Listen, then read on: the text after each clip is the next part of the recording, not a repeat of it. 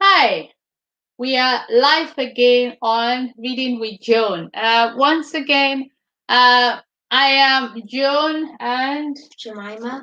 and my co-hosts, and we've been on this journey of reading every week or every day with the kids, and uh, we have now started working with um, talking about topics we learned from the book um, in our daily life.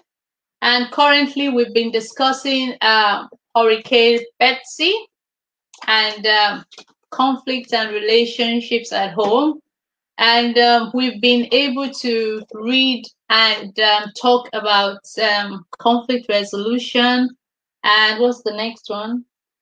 Negotiation. Negotiation. I think um, was um, last week. What was the thing we discussed? Can you remember? Sorry. Sorry. Can you remember why we discussed sorry? Why did we discuss sorry? Yeah. Why did we discuss sorry? Because Hagar's master, Sarah, mistrust and she ran away. And they were both supposed to say sorry to each other. Okay, so Hagar ran away from her master. We're talking about a story last week about a lady called Hagar or a servant girl called Hagar that ran away from her master because she's done something wrong. And when she ran away, uh, a big angel appeared to um, to her to go back and say sorry for what she's done. And so we were talking to kids um, about the importance of learning to say sorry and um, why it is important for us to say sorry when we've done something wrong. And we, how did we conclude yesterday? Can you remember? Uh, last week, Jim? Uh, we concluded by um, You need to speak loud so they can hear you. um it was uh, Can you remember? but I do know that we were talking about saying sorry and like forgiving as well. Yeah, so we concluded last week by saying that there are certain times, just a few times Oh, in our lives, what happens then? That sorry doesn't change everything, and that's what we're talking about today. Sorry doesn't change everything. And so we now said, okay, we'll go and think about it, kids, and then we'll say, okay, what what situation do we have that sorry doesn't change everything? I know it is obvious that it is important that when we say sorry, we should learn to accept, or the other party should learn to accept sorry when we've gotten to point of um, dealing with the conflict. But when sorry doesn't change everything, what happens? Okay, Jeremy, do you have a point you want to talk about? Yeah. So on Thursday, I think. Yeah, Okay. Thursday.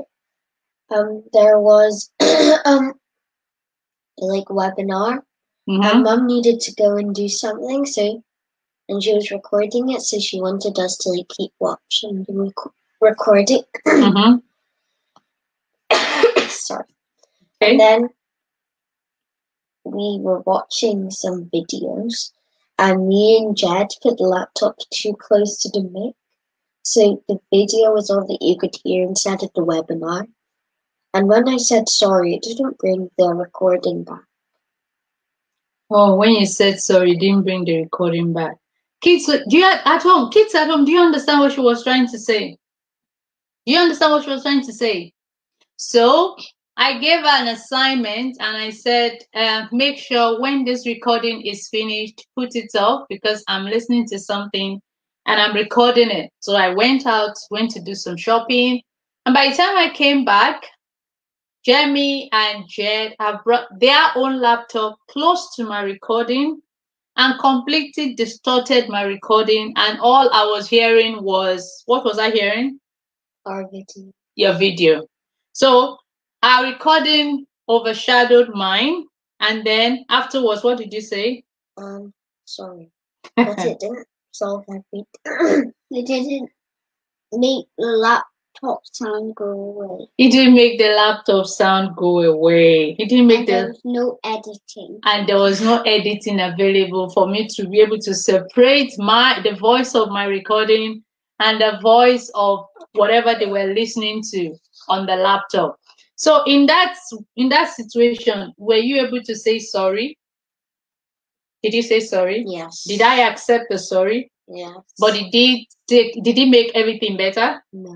no so sometimes kids what is the lesson you learned there That sorry doesn't change everything. But that doesn't mean that you shouldn't say sorry at all. That doesn't mean you shouldn't say sorry, but sorry doesn't change everything. That's number one. Number two, what else? We realize that when we say sorry, the other party is important. What what do we expect the other party to do? Forgive. Forgive. Ah, that's a very important statement. Chibuma, what do you understand by forgive? I understand that it like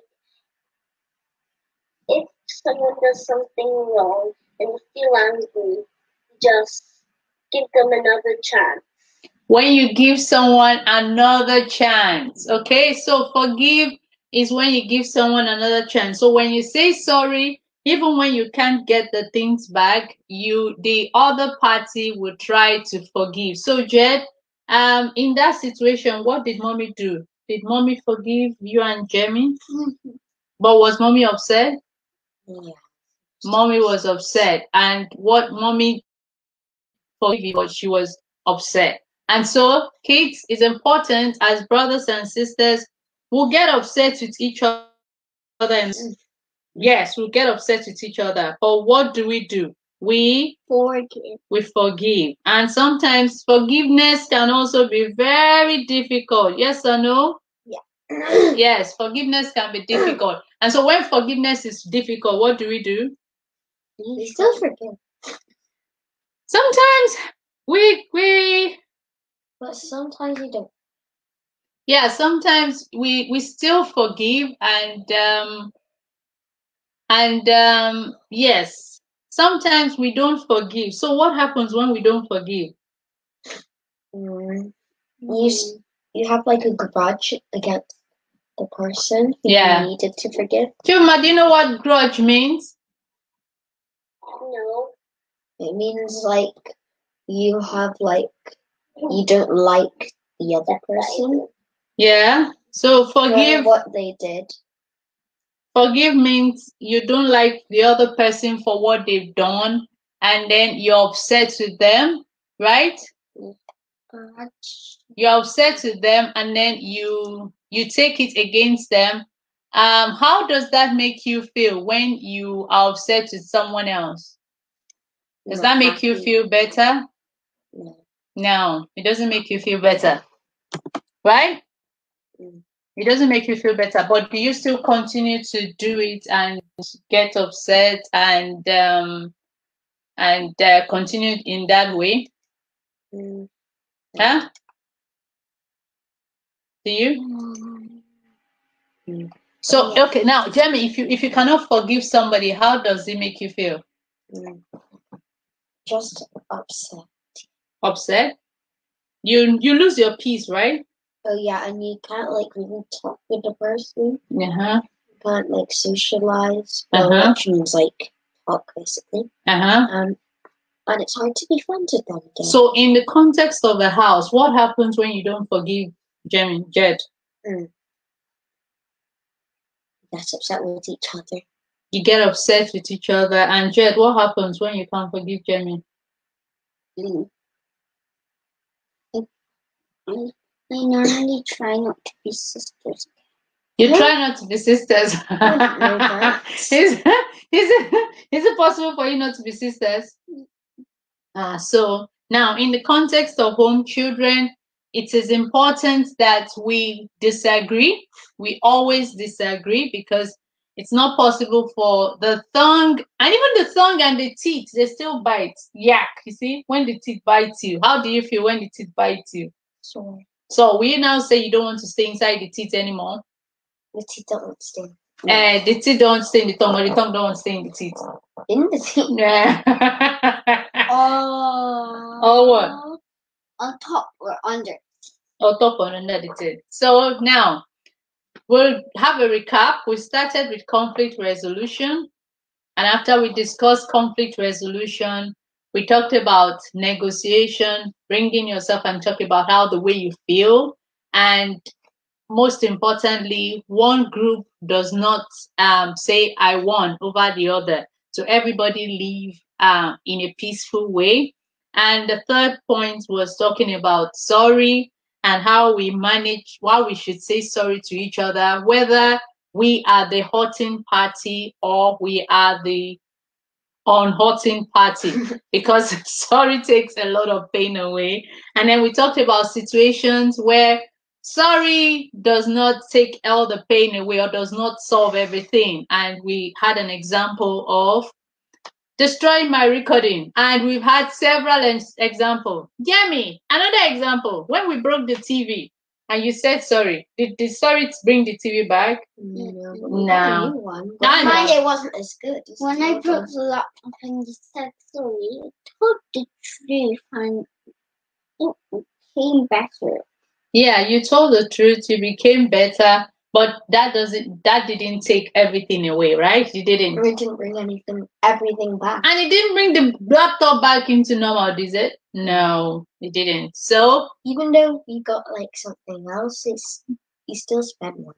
Yes, that means that So sorry sometimes help away. you to spend more money. But at the long run, create an habit of saying sorry. What other things did we say we're going to uh, discuss, um, talk about? Jeremy, what other topic? Can you remember? Thank you. So we also said we're going to talk about thank you. Um, Chibu, Ayo, Ayo, The most fascinating Ayo. what is thank you? Well, um, it's when you appreciate something. Yeah. So, um, and so to show that you're appreciative, so people say, it's a 60 don't like Okay, so when you appreciate something, you say thank you, right? Yeah, so so when you appreciate something or someone, you say thank you. And if you don't if you don't say thank you, how does the person feel? Like Sad. you're ungrateful. You're ungrateful. So today, Jamie, can you give us an example of a time you said thank you for something that anybody did for you, not mommy or whoever? Mm. Oh, when the people gave you the gift. Hmm? The Saturday, no, on your birthday. my birthday. On Oh, yeah. Saturday when you went Saturday. That wasn't my birthday. Oh well, you know, on my birthday, people Okay. gave me presents, and I said thank you. So your birthday, people gave you presents and you said thank And you. today, you let me have juice, and I, s- I think I said, I think I said thank you. I think I did. Did you ever? I let her have juice today, and she thinks she's and she said thank you, right? Oh, I said thank you when she, and when mom when mommy gave me a little bit of Jenny's Hmm? clothes. Jed, do you like saying thank you? Yeah. Mhm. You sure? But I just don't say a lot. You don't say it a lot, so you need to be reminded every time to say thank you. No, I just say it correct. Okay. So Chibumam, do you say thank you a lot?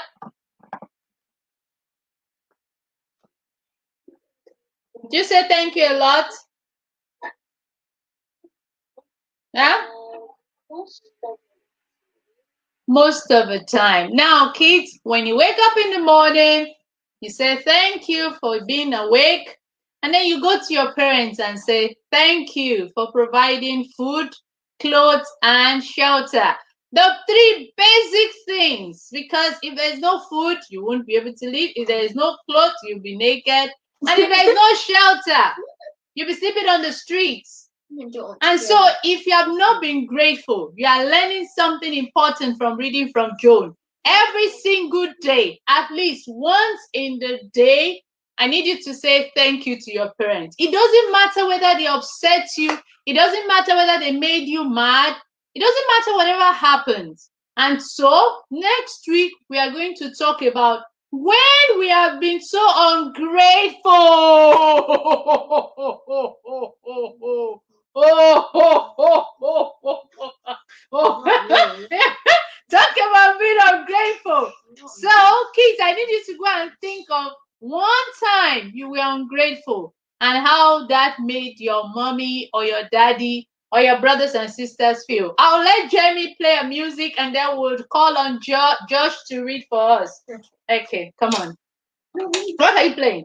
CGA. She's playing CGA. CG, CGMish, CGMish. CGA. Shemish, Milesh. This is Motherwell.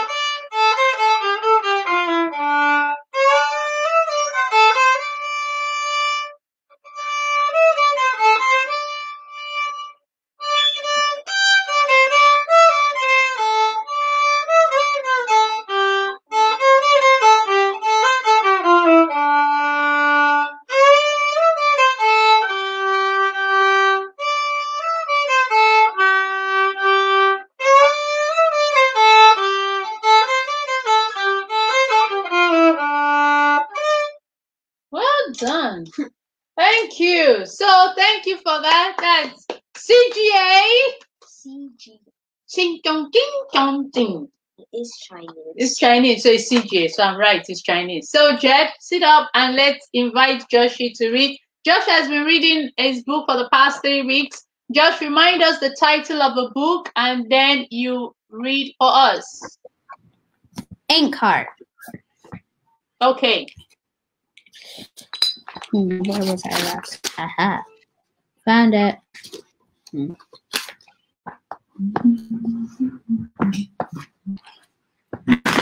From beyond the big capital letter, her mother, as she, as she was in the faded photograph under Mo's pillow, so she hadn't run any, and away after all. Did she like it in that other world? Did she still remember her daughter? Or were Maggie and Joe just a fading picture for her, too? Did she long to be back in her own world, just as Dustfinger did? And did Capricorn long to be back in his world as well? Was that what he wanted? For Mo to read him back again. What would happen when Capricorn realized that Mo simply couldn't do it? Maggie shrugged. It seems Capricorn has someone else to read out loud to him. Mo went on, as if he had guessed her thoughts. Basta told me about the man, probably to show me I, I'm not by any means indefinable. Apparently, he's rather useful assistance for Capricorn, Capricorn out of the book already. Oh, yes, and why does he want you? Elinor sat up, rub, rubbing her behind and groaning.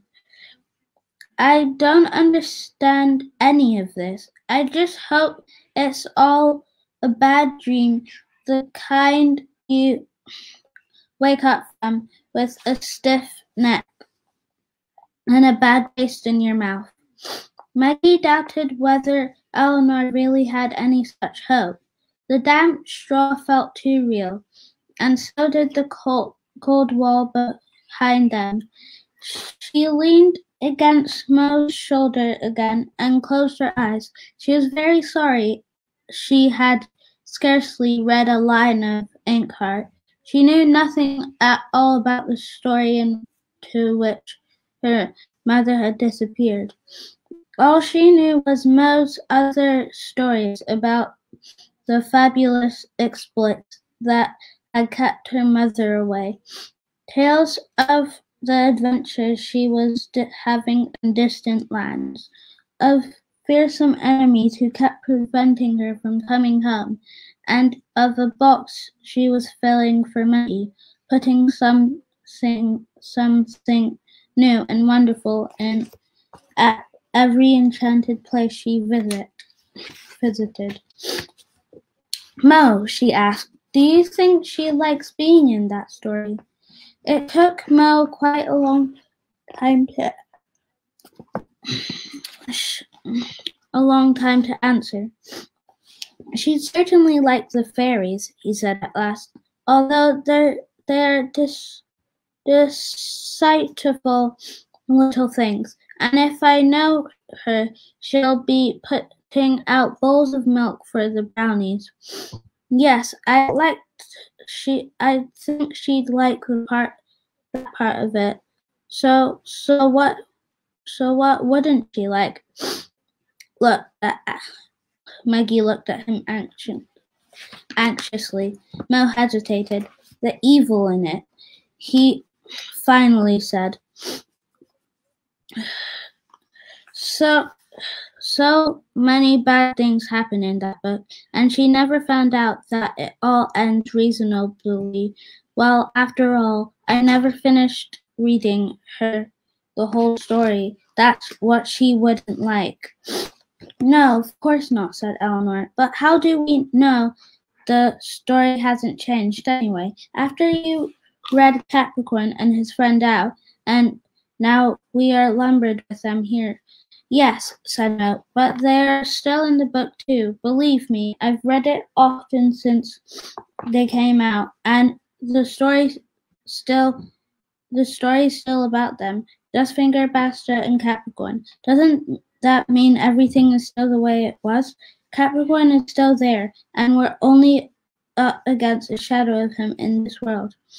He's pretty frightening for a sh- shadow, said Elinor. Yes, you're right, agreed Mo. Perhaps things have changed there after all. Perhaps there's another, much larger story behind the printed one, a story that changes just as our own world does, as the letters on the page tell us only as much as we'd see peering through a keyhole. Perhaps the story in the book is just the lid of a of a pan. It all it always stays the same, and but un, but underneath there's a whole world that goes on developing and changing like our own. Elinor groaned. groaned. For heaven's sake, Mortimer, she said, stop doing Stop it, do. Stop it, do. You're giving me a headache. It made my own head feel like bursting when I tried to make sense of it all, replied Moo gloom, glooming, gloomy, gloom, gloomily. After that, they said nothing for quite a long time. All three of them absorbed absorbed in their own thoughts. Elinor was the first to speak again, although it sounded as if she were talking to to herself. Heavens above, she murmured, taking off her shoes. To think of all the times I wished I could slip right into one of my favorite books. But that's the advantage of reading. You can shut the book whenever you want. Grinning, she, wriggled, she wriggled her toes and began walking up and down. Maggie had to suppress a giggle. Elinor looked so funny hobbling from the wall to, to the door and back again with her aching feet. Back and, black, back and forth like a clockwork toy. Elinor, you're dri- driving me bonkers.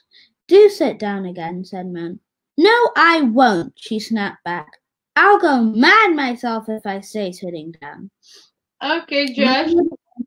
Thank you so much. We are running out of time, even though we are enjoying your story, but we are running out of time and we would we would actually continue to know who is running Illinois bonkers. And before you go, Mm. Josh, do you have any question for these girls? Oh, no.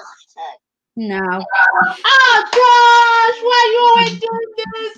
Oh, I told you last week you need to ask them a question. Oh, okay. Anyway, that's just good luck for you. So next week, I would actually make Josh ask you a question. If you cannot answer the question, and then we'll go back to the drawing table. Gong, gong, gong. Kate, thank you for watching today. Remember, we talked about sorry and we started talking about thank you.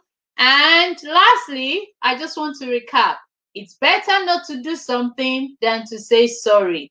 But we cannot do without saying sorry. One big auntie told Jemmy, don't bother hurting because sometimes sorry doesn't just make everything go away.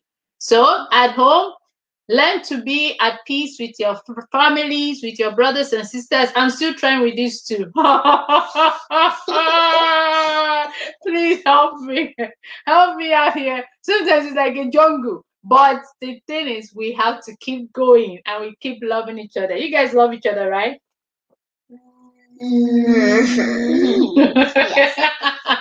they do love each other. And so next week, we'll see you guys on Reading with Joan. And on Saturday next week, we'll come back and talk about thankfulness. Think about a story where you were not thankful and you come and share with us. See you next time on Reading with Joan. Remember to follow us on our social media, our Instagram, our Twitter, YouTube, and Facebook because we love you and we love reading with you. Bye.